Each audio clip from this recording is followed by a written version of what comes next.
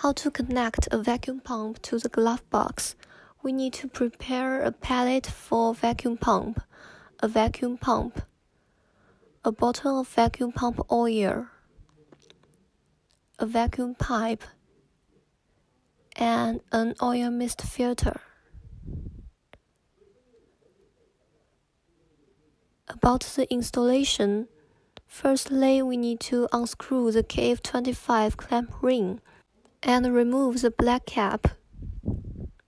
Then fix the oil mist filter face up on the KF25 interface. Then tighten the clamp ring.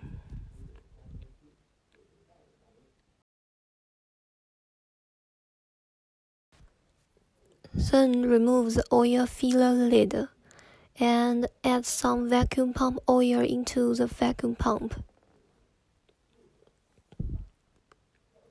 Notice that half filled is recommended. Then place the lid on firmly.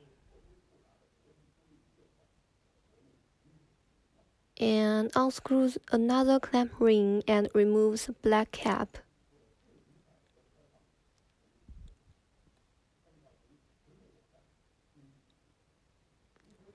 Then connect the vacuum pipe to the interface and tighten the clamp ring.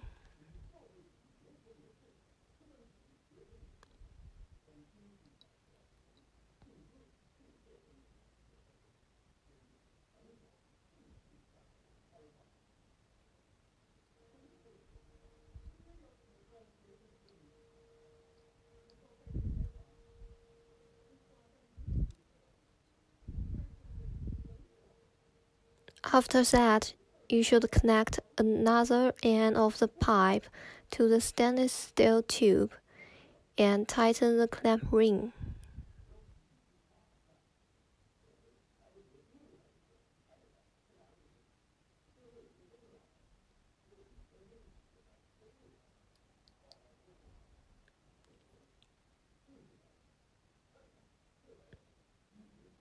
And plug the black cable into the vacuum pump interface.